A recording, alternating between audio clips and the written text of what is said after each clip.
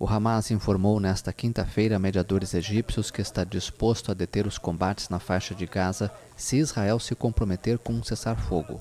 A informação é de um alto dirigente do movimento islamista palestino. Uma delegação do Hamas comunicou a funcionários egípcios no Cairo sua disposição de deter os combates, mas Israel deve se comprometer com um cessar-fogo, se retirar da faixa de Gaza, permitir o retorno dos deslocados, aceitar um acordo sério de troca de presos e permitir a entrada de ajuda humanitária em Gaza, ressaltou a fonte. O primeiro-ministro israelense Benjamin Netanyahu elogiou a vontade do Egito de fazer avançar um acordo em Gaza, após a conversação no Cairo entre funcionários egípcios e a delegação do Hamas. O primeiro-ministro acolheu com satisfação a vontade do Egito de fazer avançar um acordo para a libertação dos reféns, informou seu gabinete por meio de um comunicado. If Hamas lays down its arms and returns our hostages.